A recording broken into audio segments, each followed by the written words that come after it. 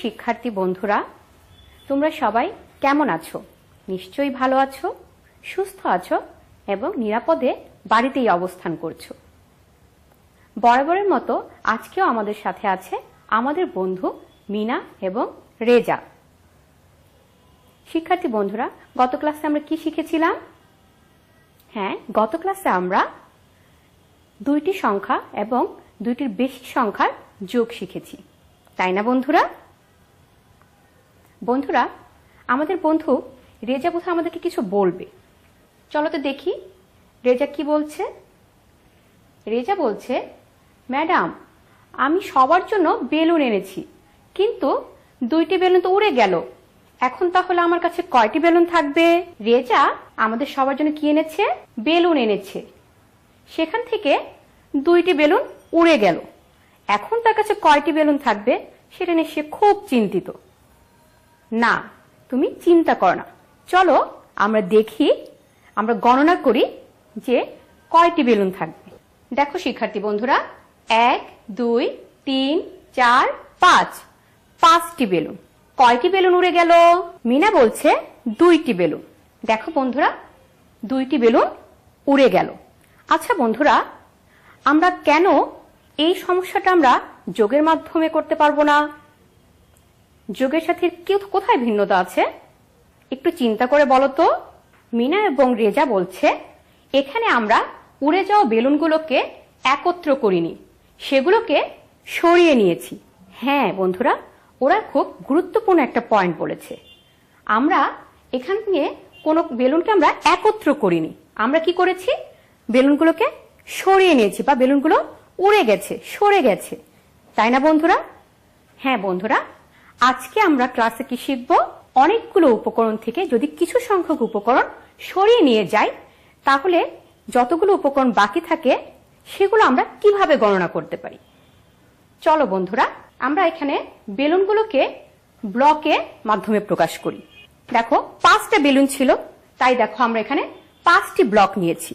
দেখো, এক, দুই, তিন, চার, পাঁচ। পাঁচটি ব্লক নিয়েছি। এই পাঁচটি ব্লক থেকে যদি দুটি ব্লক সরিয়ে দেই, তাহলে কয়টি ব্লক থাকবে? রেজা এবং মিনা বলছে তিনটি ব্লক। হ্যাঁ বন্ধুরা, দেখো, পাঁচটি ব্লক থেকে যদি দুটো ব্লক চলে যায়, তাহলে থাকল কয়টি? তিনটি। শিক্ষার্থী বন্ধুরা, মনে রাখবে, যখন কোনো একটি সংখ্যা থেকে অন্য একটি সংখ্যা আমরা সরিয়ে নেই, সেক্ষেত্রে আমরা বিয়োগ করি। বুঝতে পেরেছ বন্ধুরা? আমরা কি করব? বিয়োগ করব।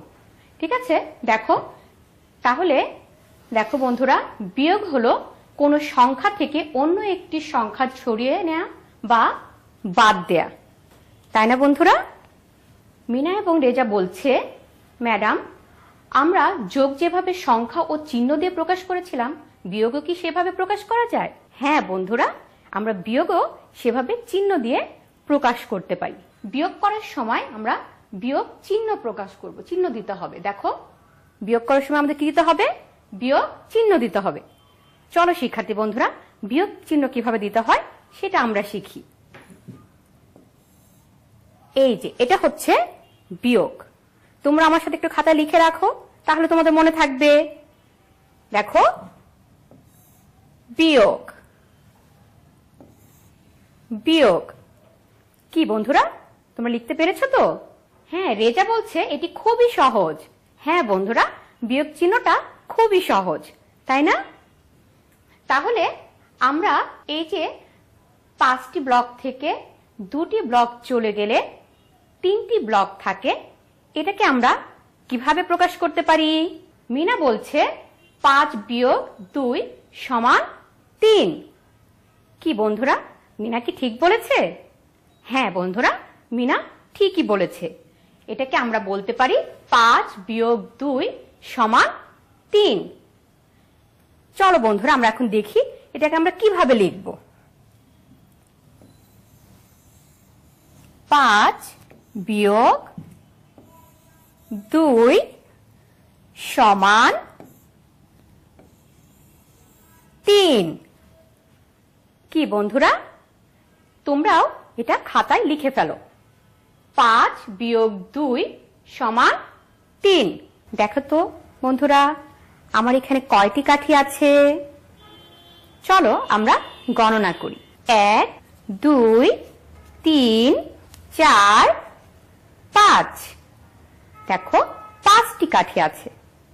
এই পাঁচটি কাঠি থেকে আমি যদি রেজাকে দুইটি কাঠি দিয়ে দিলাম তাহলে আমার কাছে এখন কয়টি কাঠি রইল?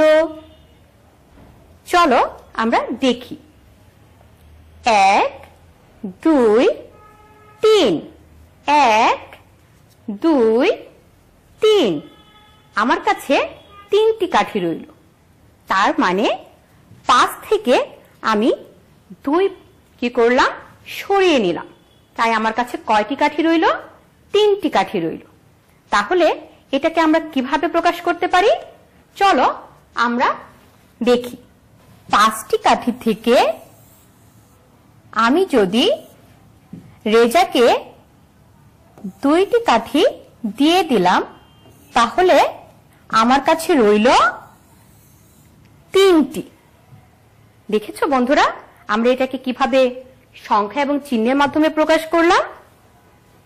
পাঁচ বিয়োগ দুই সমান তিন। তাই না বন্ধুরা? তোমরাও আমার সাথে লিখে ফেলো। এবারে দেখো তো আমার কাছে কয়টি কাঠি আছে? চলো আমরা গণনা করি। এক, দুই, তিন, চার, পাঁচ, ছয়। আমার কাছে ছয়টি কাঠি আছে। এখন আমি যদি এই ছয়টি কাঠি থেকে তিনটি কাঠি মিনাকে দিয়ে দিই। তাহলে আমার কাছে কয়টি কাঠি থাকবে বলো তো চলো। এক, দুই, তিন। এই তিনটি কাঠি আমি মিনাকে দিয়ে দিলাম। তাহলে আমার কাছে আর কয়টি কাঠি রইল? এক, দুই, তিন। তিনটি কাঠি রইল। তাই না, শিক্ষার্থী বন্ধুরা? আমার কাছে ছিল কয়টি কাঠি? আমার কাছে ছিল ছয়টি কাঠি। আমি মিনাকে দিয়ে দিলাম তিনটি কাঠি। তাহলে আমার কাছে রইল কয়টি? তিনটি। তাই না? তার মানে ছয় থেকে তিন বিয়োগ করলে রইল তিন। ছয় বিয়োগ তিন সমান তিন। কি বন্ধুরা, তোমরা কি লিখতে পেরেছ? রেজা কিছু বলছে। রেজা বলছে, ম্যাডাম, স্কুলের বাগান থেকে আমি কিছু আম এনেছি। চলুন সবাই মিলে এগুলো খাই। দেখো, রেজা কত সুন্দর সুন্দর কিছু আম নিয়ে এসেছে। কতগুলো আম নিয়ে এসেছে দেখো তো? এক, দুই, তিন, চার, পাঁচ, ছয়, সাত। সাতটি আম এনেছে। আমগুলো অনেক সুন্দর, তাই না? চলো আমরা আমগুলো খাই। হুম, আমগুলো অনেক সুস্বাদু। আমার খুব মজা লেগেছে। বন্ধুরা, এই যে রেজা যে আম নিয়ে আসলো, আমরা খেলাম। এখন আর কয়টি আম রইল? মিনা বলছে, প্রথমে এখানে সাতটি আম ছিল। এর মধ্য থেকে আমরা তিনটি আম খেয়েছি। কি বন্ধুরা, আমরা কি তিনটি আম খেয়েছি? হ্যাঁ কারণ তোমরা তো আমাদের সাথে ছিলে না। আমরা এখানে কয়জন ছিলাম? তিনজন ছিলাম। আমি, মিনা এবং রেজা। তাই আমরা তিনটি আম খেয়েছি। রেজা বলছে, তাই এখানে আর চারটি আম বাকি আছে। হ্যাঁ বন্ধুরা, আমরা এখানে কয়টি আম ছিল সাতটি আম ছিল। সেখান থেকে তিনটি আম আমরা খাওয়ার পরে বাকি রইল চারটি। বন্ধুরা, আমরা এটাকে কীভাবে বলতে পারি? রেজা বলছে, আমরা প্রথমে সাত থেকে তিন সরিয়ে নিয়েছি। তাই চার বাকি থাকে। এটি হবে সাত বিয়োগ তিন সমান চার। কি বন্ধুরা, রেজা কি ঠিক বলেছে? হ্যাঁ বন্ধুরা, রেজা ঠিকই বলেছে। আমরা তো আগেই বলেছি, কোনো কিছু সরিয়ে নিলে, কোনো একটা সংখ্যা সরিয়ে নিলে আমরা কি করব? বিয়োগ করব, তাই না? তাই প্রথমে কি করা হয়েছে? সাত থেকে তিনটে যেহেতু সরে গেছে, তার মানে সাত থেকে তিন বিয়োগ হয়েছে। আর রইল কয়টি? চারটি। চলো, আমরা এটাকে এখন ব্লকের মাধ্যমে প্রকাশ করি। আমাদের আম ছিল কয়টি? সাতটি। তাই আমরা ব্লক নিয়েছি সাতটি। এক দুই, তিন, চার, পাঁচ, ছয়, সাত। সাতটি ব্লক। এখান থেকে আমরা তিনটি আম খেয়ে ফেলেছি। তাই কয়টি ব্লক রইল? দেখো, চারটি ব্লক রইল। তাই না, শিক্ষার্থী বন্ধুরা? তাহলে এটাকে আমরা এখন কীভাবে লিখব? চলো আমরা এখানে লিখি। সাতটি ব্লক থেকে তিনটি ব্লক বিয়োগ করলে থাকবে কয়টি? চারটি। তাই না? তার মানে সাত বিয়োগ তিন সমান চার। তোমরা কি লিখেছ বন্ধুরা?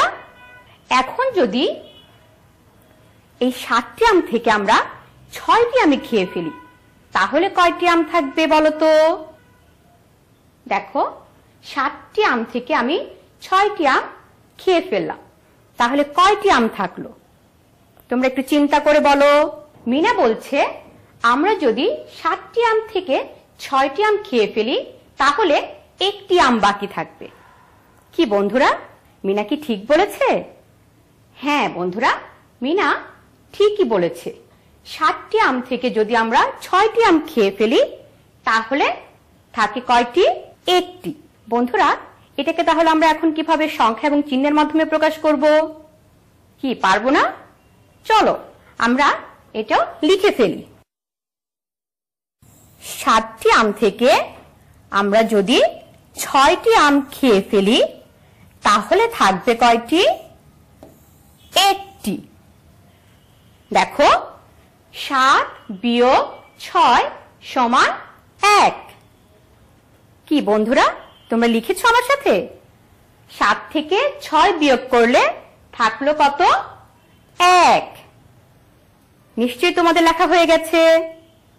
এর মানে হচ্ছে সাত বিয়োগ ছয় সমান এক। তাই একটি আম রইল। কি বন্ধুরা, দেখেছ? রেজা কিন্তু এবার বুঝে গেছে, তাই না?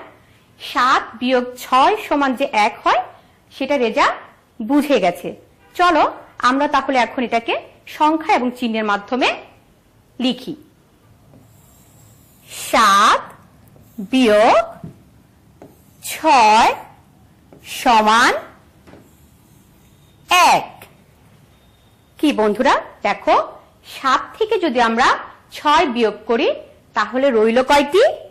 একটি মানে এক। তার মানে সাত বিয়োগ ছয় সমান এক। কি বন্ধুরা? তোমরা লিখতে পেরেছ তো? তাহলে শিক্ষার্থী বন্ধুরা, আজকে আমরা কি শিখলাম? চলো আমরা দেখি আজকে আমরা কি শিখলাম। আজকে আমরা শিখলাম, বিয়োগ হলো কোনো সংখ্যা থেকে অন্য একটি সংখ্যা সরিয়ে নেওয়া বা বাদ দেয়া বা বিয়োগ করা। কি বন্ধুরা? আমরা তো তাই শিখলাম, তাই না? কোনো একটা সংখ্যা থেকে আমরা কি করলাম? অন্য একটা সংখ্যাকে বাদ দিলাম বা সরিয়ে নিলাম। তাই না? এটাই হচ্ছে বিয়োগ। তো আমরা বিয়োগ সম্পর্কে বুঝতে পেরেছি তো? আরও কি শিখলাম? বিয়োগ করার সময় বিয়োগ চিহ্ন দিতে হয়। আমরা বিয়োগ চিহ্নটাও আজকে আমরা শিখেছি, তাই না? তার মানে আমরা কি করেছিলাম? এই যে পাঁচটি ব্লক থেকে যদি দুইটি ব্লক সরে যায়, তাহলে রইল কয়টি? তিনটি। তাই না বন্ধুরা? পাঁচটি ব্লক থেকে দুইটি ব্লক বাদ দিলে রইল কয়টি? তিনটি। আর কীভাবে বলতে পারি? পাঁচ বিয়োগ দুই সমান তিন। তাই না বন্ধুরা? চলো আমরা আরেকবার এটাকে একটু লিখি। এটাকে আমরা বলতে পারি পাঁচ বিয়োগ দুই সমান তিন। কি বন্ধুরা? আমরা সবাই বুঝতে পেরেছি তো? শিক্ষার্থী বন্ধুরা, তোমরা একটি ছবি দেখতে পাচ্ছ। তাই না? ছবিতে কি দেখা যাচ্ছে বলো তো? হ্যাঁ দেখো। ছবিতে অনেকগুলো শিশু কি করছে? কেউ বই পড়ছে, কেউ খেলা করছে, কেউ কি করছে? পুতুল খেলছে, তাই না? এটা কোথায় হতে পারে বলো তো? হ্যাঁ আমারও তাই মনে হচ্ছে এটা বোধহয় একটা পার্ক, তাই না? পার্কে বেশ কিছু শিশু খেলা করছে, বই পড়ছে, তাই না? আছে শিক্ষার্থী বন্ধুরা, দেখো তো, এখানে কয়জন শিশু আছে? চলো আমরা গণনা করি। এক, দুই, তিন, চার, পাঁচ, ছয়। ছয়জন শিশু খেলা করছে, তাই না? বলতো এখানে কতজন ছেলে আছে? চলো আমরা দেখি কতজন ছেলে আছে। দেখো, এই একজন ছেলে আর এই একজন ছেলে। তাহলে এই ছয় জনের মধ্যে ছেলে আছে দুইজন তাহলে মেয়ে আছে কয়জন বলো তো হ্যাঁ বন্ধুরা, এইটাই তোমাদের বাড়ির কাজ। এই ছয়জন ছেলের মধ্যে কয়জন মেয়ে আছে সেটা তোমরা লিখবে। সেটা তোমরা সংখ্যা এবং চিহ্নের মাধ্যমে তোমাদের খাতায় লিখবে এবং উত্তর বের করবে। ঠিক আছে, শিক্ষার্থী বন্ধুরা? আজকে এ পর্যন্তই। তোমরা সুস্থ থেকো, ভালো থেকো এবং নিরাপদে বাড়িতেই অবস্থান করো এবং স্বাস্থ্যবিধি মেনে চলো।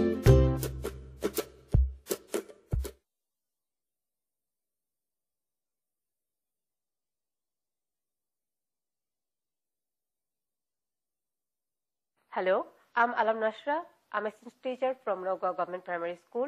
I'm going to take the class from English for Today, Class 3, Unit 11, Lesson 1 3, Section B. Hello, students. How are you? I'm fine. You know how to stand up, how to sit down, how to raise your hand? Yes, of course you know. Okay, let's do something. Okay, please do it with me. I'm going to show you. Raise your right hand up, put your right hand down, up, down, up, down, then turn around. Raise your left hand up, put your left hand down, up, down, up, down, then turn around. Okay, very good. Let's start our lesson.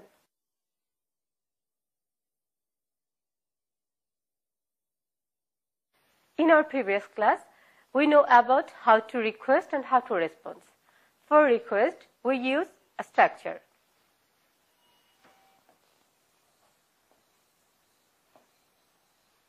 Can you?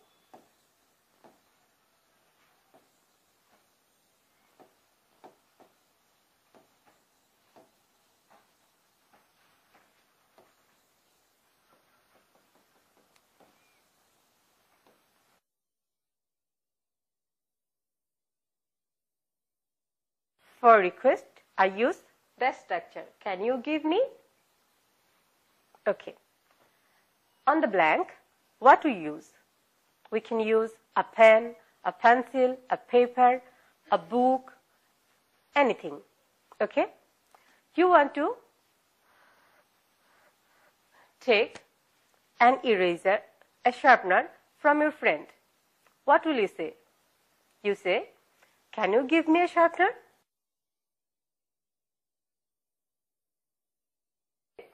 Can you give me a sharpener? Am I right? Yes.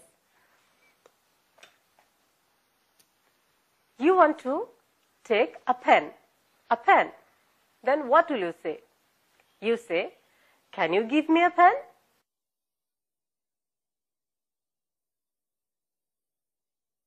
Can you give me a pen?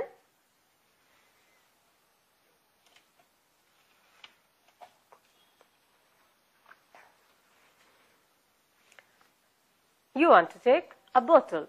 What will you say? Can you give me a bottle?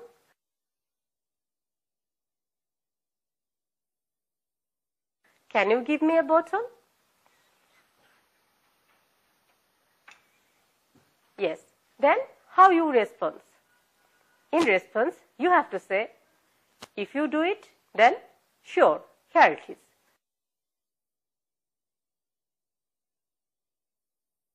Sure, here it is.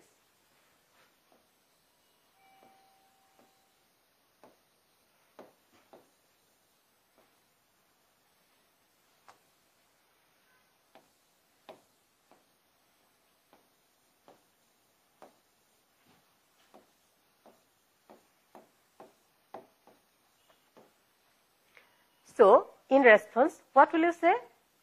Sure, here it is. Okay.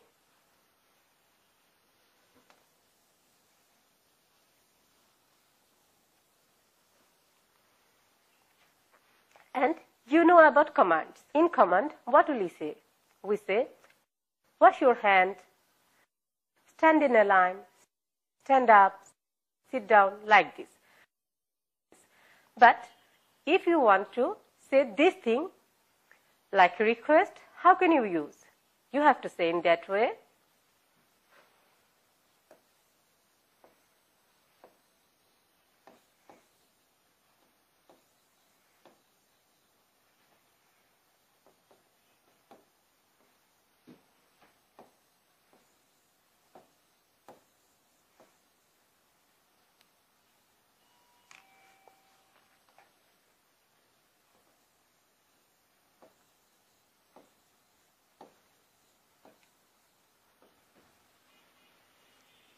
Can you?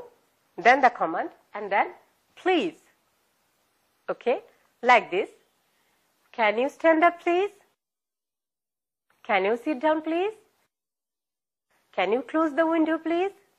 Can you help me please? Like this.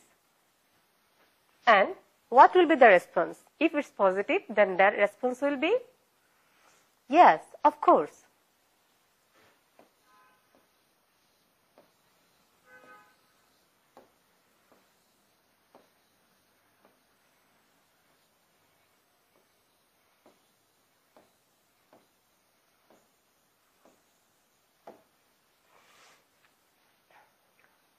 And what will be the response? The response will be yes, of course. If it's positive, then yes, of course. Very good. Now I'm going to show you a picture. Okay? Please look it carefully. Please look at this. What do you see in the picture? Okay, it's an apple and you see she wants to take this apple. Then what will be the request? Please think. And then this picture. That boy is sitting. He wants him to stand up. Then what will be the request? And what will be the request there? And there is a bed also. Then what will be the request? Please think. What do you see in the picture? What will be the request and what will be the response? Okay, let's go on the first picture. She wants to take this apple. Then what will she say? She will say, Can you give me an apple? Can you give me an apple? Can you give me an apple? You can see that he is going to give it. The response will be, Sure, here it is. Sure, here it is. Again, please repeat after me. Can you give me an apple? Can you give me an apple? Sure, here it is. The response will be, Sure, here it is. And then there is a pencil and she wants it. Then what will she say? Can you give me a pencil? Can you give me a pencil? Can you give me a pencil? Answer will be Sure, here it is. Sure, here it is. And then ওকে এখান থেকে দাঁড়াতে বলছে দেন ইনস্ট্রাকশনটাকে সে রিকোয়েস্টে নেবে সেই ইনস্ট্রাকশনটাকে রিকোয়েস্টের ভাবে বলবে কীভাবে বলবে He will say, Can you stand up, please? He will say, Can you stand up, please? And then the response, Yes, of course. Then there is a bed and she wants to go to bed. Then what will be the question? Yes. Can you go to bed please? Can you go to bed please? Yes, of course. Okay, students let's play the game গল্প দাদু সে তোমরা কি এই গেমসটা আগে খেলেছো? চলো আমি নিয়মটি বলে দিচ্ছি। গল্প দাদু গল্প দাদু সে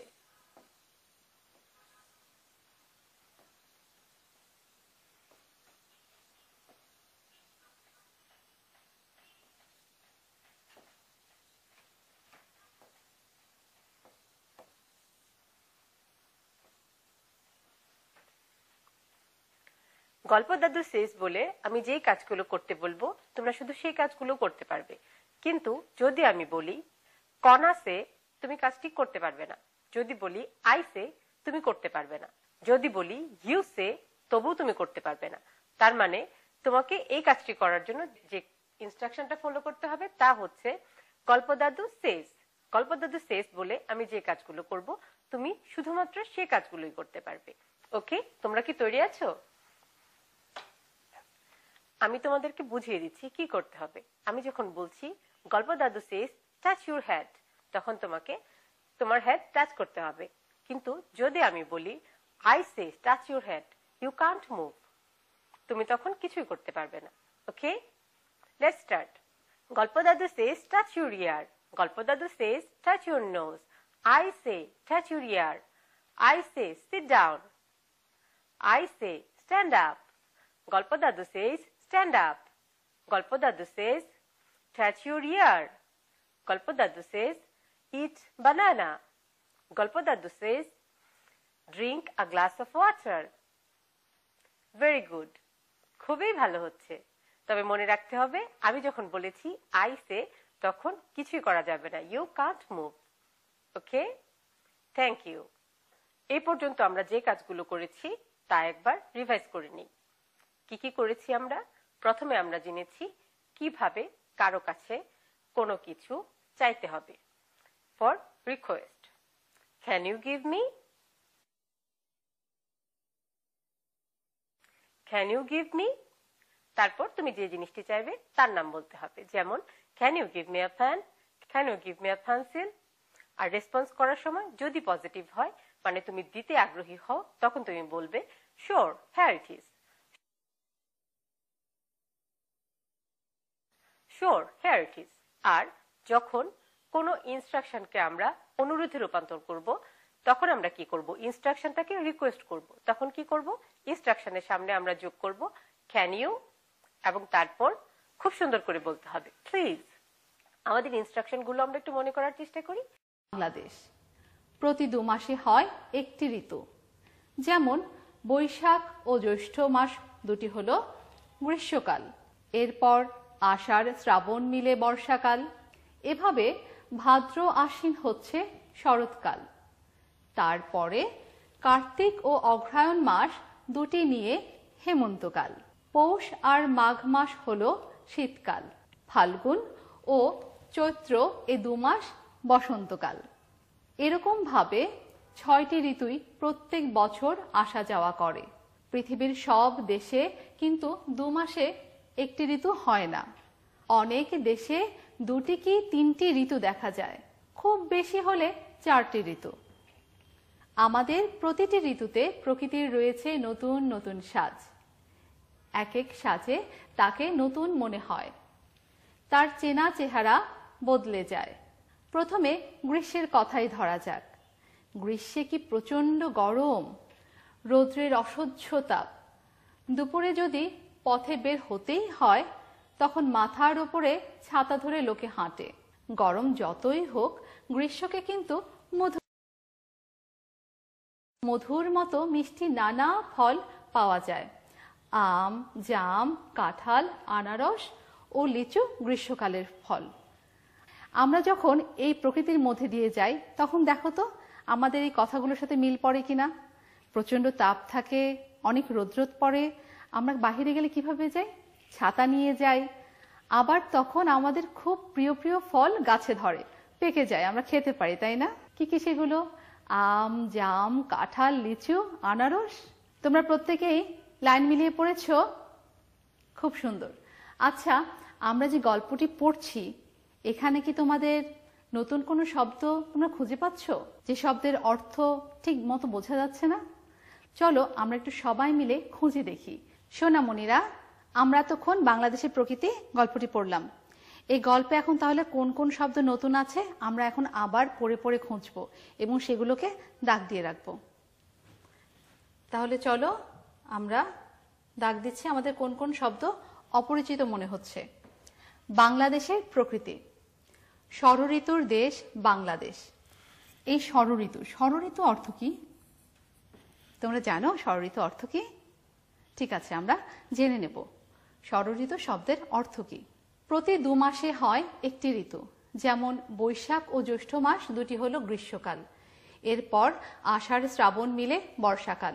এভাবে ভাদ্র আশ্বিন হচ্ছে শরৎকাল। তারপরে কার্তিক ও অগ্রহায়ণ মাস দুটি নিয়ে হেমন্তকাল। পৌষ আর মাঘ মাস হলো শীতকাল, ফাল্গুন ও চৈত্র এ দু মাস বসন্তকাল। এরকম ভাবে ছয়টি ঋতুই প্রত্যেক বছর আসা যাওয়া করে। পৃথিবীর সব দেশে কিন্তু দু মাসে একটি ঋতু হয় না। অনেকে দেশে দুটি কি তিনটি ঋতু দেখা যায়। খুব বেশি হলে চারটি ঋতু। আমাদের প্রতিটি ঋতুতে প্রকৃতির রয়েছে নতুন নতুন সাজ। এক এক সাজে তাকে নতুন মনে হয়। তার চেনা চেহারা বদলে যায়। ষড়ঋতুর দেশ বাংলাদেশ। আমরা ষড়ঋতু শব্দটি তো খুঁজে পেয়েছি। এরপর দেখি তো কি পাওয়া যায়। প্রতি দু মাসে হয় একটি ঋতু। যেমন, বৈশাখ ও জ্যৈষ্ঠ মাস দুটি হলো গ্রীষ্মকাল। আমরা এখানে গ্রীষ্মকাল শব্দটিকে পেলাম এবং এর নিচে দাগ দিচ্ছি। আমরা এর অর্থ জানব। এরপর আষাঢ়, শ্রাবণ মিলে বর্ষাকাল। এভাবে ভাদ্র আশ্বিন হচ্ছে শরৎকাল। তারপরে কার্তিক ও অগ্রহায়ণ মাস দুটি নিয়ে হেমন্তকাল। পৌষ আর মাঘ মাস হল শীতকাল। ফাল্গুন ও চৈত্র এ দু মাস বসন্তকাল। এরকম ভাবে ছয়টি ঋতুই প্রত্যেক বছর আসা যাওয়া করে। পৃথিবীর সব দেশে কিন্তু দু মাসে একটি ঋতু হয় না। অনেকে দেশে দুটি কি তিনটি ঋতু দেখা যায়। খুব বেশি হলে চারটি ঋতু। আমাদের প্রতিটি ঋতুতে প্রকৃতির রয়েছে নতুন নতুন সাজ। এক একে সাজে তাকে নতুন মনে হয়। তার চেনা চেহারা বদলে যায়। প্রথমে গ্রীষ্মের কথাই ধরা যাক। গ্রীষ্মে কি প্রচণ্ড গরম? আচ্ছা প্রচণ্ড শব্দের অর্থ কি জানো তোমরা? চলো আমরা প্রচণ্ড শব্দের নিচে একটি দাগ দিই। রৌদ্রের অসহ্য তাপ এখানে আমরা একটি শব্দ পেলাম অসহ্য আমরা আজকে এই শব্দগুলোর অর্থ জানব। দুপুরে যদি পথে বের হতেই হয়, তখন মাথার উপরে ছাতা ধরে লোকে হাঁটে। গরম যতই হোক, গ্রীষ্মকে কিন্তু মধুমাস বলা হয়। এ সময় মধুর মতো মিষ্টি নানা ফল পাওয়া যায়।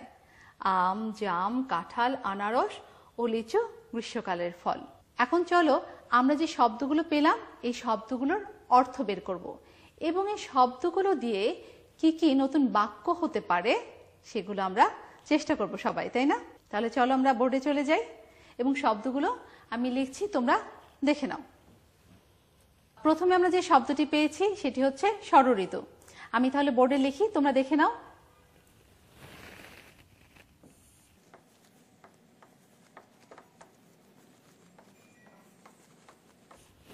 ষড়ঋতু ষড়ঋতু শব্দের অর্থ হচ্ছে ছয়টি ঋতু।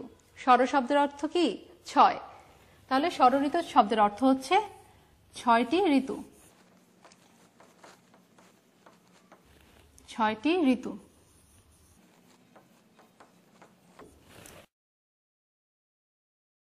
ছয়টি ঋতু।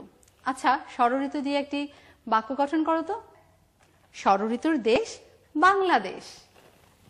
তাহলে আমি লিখছি একটি বাক্য। ষড়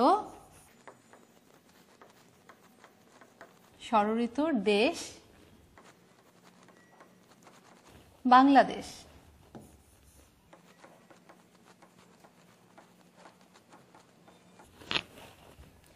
ষড়ঋতু অর্থ ছয়টি ঋতু।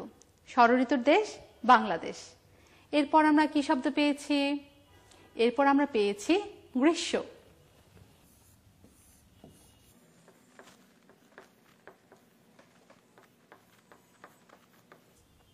গ্রীষ্মকাল শব্দের অর্থ লিখব কি? গরম কাল অথবা আমরা বলতে পারি যে ষড় ঋতুর প্রথম ঋতু। গ্রীষ্মকাল অর্থ গরমকাল, অথবা বলতে পারি ষড় ঋতুর প্রথম ঋতু। আচ্ছা এখন গ্রীষ্মকাল দিয়ে একটি বাক্য গঠন করো তো। কি হবে? কি হতে পারে? গ্রীষ্মকালে অনেক গরম পড়ে। আমরা এখন লিখি একটি বাক্য, গ্রীষ্মকাল দিয়ে একটি বাক্য। তোমরা চাইলে তোমাদের মন মতন অন্য ধরনের বাক্য লিখতে পারবে, যেখানে গ্রীষ্মকাল শব্দটি থাকবে। গ্রীষ্মকাল গ্রীষ্মকালে গ্রীষ্মকালে অনেক গরম পড়ে। অথবা তোমরা বলতে পারো গ্রীষ্মকালে আম, জাম, কাঁঠাল লিচু পাওয়া যায়।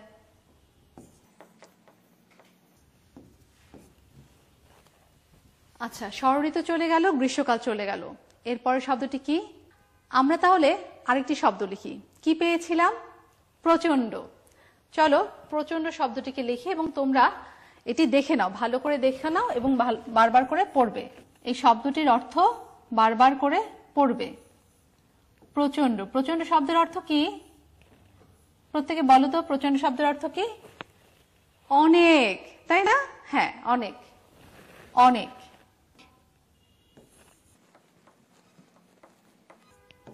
আচ্ছা এখন প্রচণ্ড শব্দ দিয়ে একটি বাক্য গঠন আমরা সবাই করব। কি হতে পারে? আজ বাইরে প্রচণ্ড গরম, অথবা আম খেতে আমার প্রচণ্ড ভালো লাগে। কি লিখব? আমরা তো গ্রীষ্মকাল নিয়ে পড়ছি, তাহলে আমরা গরমকে নিয়ে লিখি? আজ বাইরে প্রচণ্ড গরম।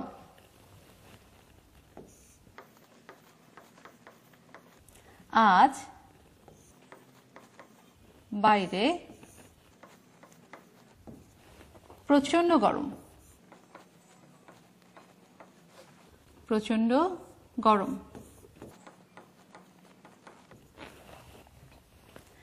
আচ্ছা এবার আমাদের আরেকটি শব্দ বাকি আছে। কি শব্দটি বলো তো? অসহ্য। অসহ্য। অ। অসহ্য। অসহ্য শব্দের অর্থ হচ্ছে, সহ্য হয় না এমন।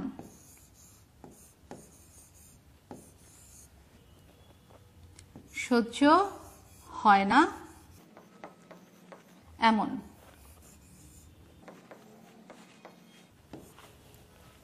তাহলে আমরা অসহ্য শব্দের অর্থ কি পেলাম? সহ্য হয় না, এমন। অসহ্য দিয়ে কি লেখা যায়? অসহ্য দিয়ে একটি বাক্য গঠন করো তো। আমরা কি লিখতে পারি? লিখতে পারি গরমে অসহ্য লাগে। গরমে অসহ্য লাগে।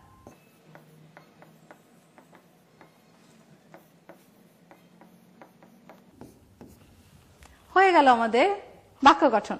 তোমরা শব্দের অর্থগুলো ভালো করে বাসায় পড়বে এবং এর দিয়ে নতুন নতুন করে তোমরা বাক্য গঠন করবে। ঠিক আছে? এবার চলো আমরা যে পাঠ্যাংশটুকু পড়েছি, এর মধ্যে কোন কোন শব্দগুলো আছে যুক্ত, বর্ণযুক্ত? আমরা সেগুলো খুঁজে বের করব এবং সেই যুক্ত, বর্ণকে ভেঙে দেখাবো। ঠিক আছে? আর কি কি যুক্ত, বর্ণ আছে? চলো তো একটু খুঁজে দেখি। এরপর আষাঢ়, শ্রাবণ মিলে বর্ষাকাল। এই যে শ্রাবণ, তাই না? হ্যাঁ এখানেও একটি যুক্ত বর্ণ আছে। এভাবে ভাদ্র, আশ্বিন হচ্ছে শরৎকাল।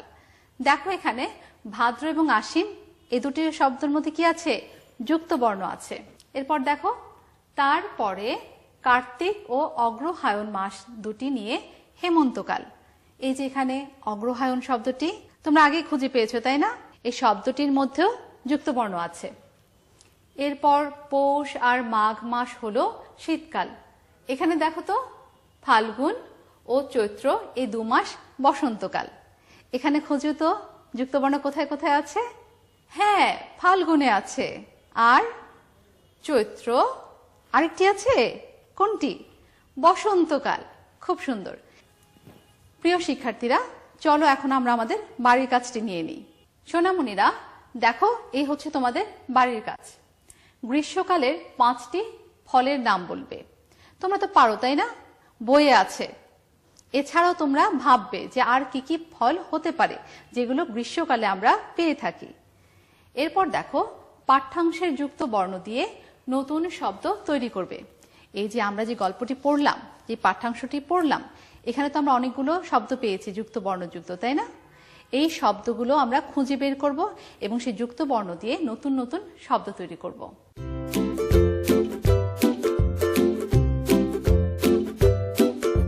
তোমরা কিন্তু অবশ্যই বাসায় বসে এই বাড়ির কাজগুলো করবে।